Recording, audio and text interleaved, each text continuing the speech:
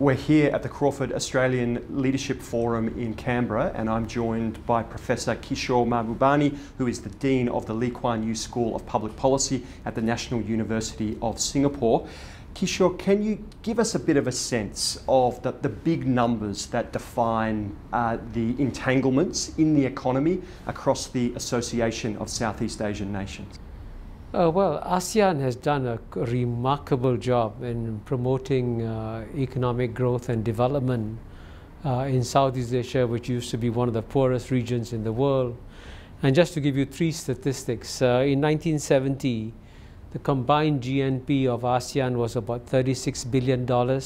Now it's close to $2.5 trillion, an increase of over 70 times. And ASEAN's total trade with the rest of the world in 1970 was 14 billion dollars, one four, and now it's over $2.5 trillion, an increase of 180 times. And in the case of ASEAN's intra-ASEAN trade, which everyone has discounted, total intra-ASEAN trade was $1.2 billion in 1970, and now it's over $600 billion, an increase of over 500 times. So this, these statistics show what a remarkable job ASEAN has done in delivering economic and growth and development in Southeast Asia. Kishore, you spent uh, many decades working in the Singaporean Foreign Service. Uh, can you give us some impression of the role that the Singaporean Republic has played over those years? Well, Singapore is kind of a unique uh, creature in the Southeast Asian space because, as you know, it is a city state uh, which has been exceptionally successful when Singapore celebrated its 50th anniversary last year. I wrote an article saying that Singapore has been the most successful society in human history in terms of the uh, comprehensiveness of its national development. So the good news for the region is that we have now created various universities, think tanks, and intellectual uh, institutions that are basically generating a lot of ideas which are quietly changing uh, the face of uh, Southeast Asia. The good news is that Singapore tries not to claim too much credit and likes to say it's, it's, it all belongs to you, but it is an open secret that if you, in a sense, want to come to the intellectual hub of Southeast Asia, you come to Singapore.